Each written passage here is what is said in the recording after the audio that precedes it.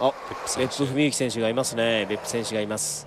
集団中ほどでまだ今は動くタイミングじゃないということですねこれは。まあ今日は非常におっと。カタツムリが3匹。危ない危ない。当たろうとしてますね。通過するまで待てよというところですが、まあゆっくりで。しかしまあいいこんな面白いアングルでよく撮りますね。これは本当にいたんですかね 置いたんですか？大きい大きいんですか？これ。大きく見えるんですいや大きく見えるんでしょう。葉っぱの感じからするとそれほど大きくは見えませんが。一匹ね逃げを打とうとしてますけどもね。ちょっと危ないですね。後続が反応です。目を出してきました。あ久しぶりに見ましたカタツムリ今その前を4人が通過ですよくしかしカメラマンの方探しますねこんなのね。いやあれ見つけたんですよね。いや結構粋なアングルでしたが。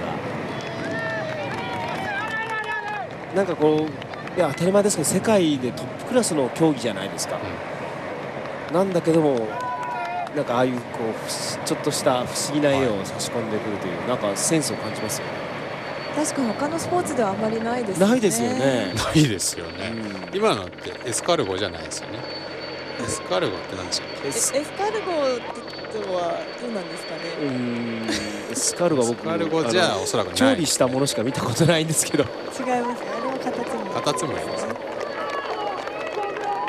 サッカーでさすがに出てこないですよね。出てこないですよね。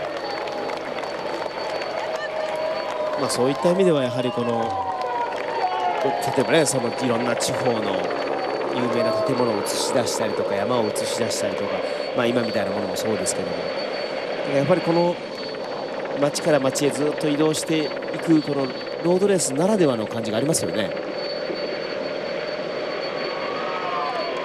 ごい広いフランスを知れた気になりますもんねやっぱり。あの観光のテレビじゃこんな細かく映さないですからね逆に言うと、はい、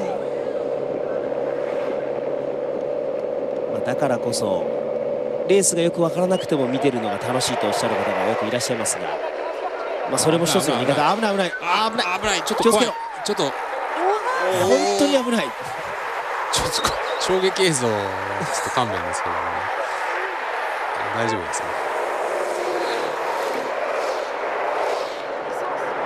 結構挑戦者ですねこの人。完全にこの人逃げを打っていきましたけど、ね、えー、とりあえず一番危ないところは切り抜けたようです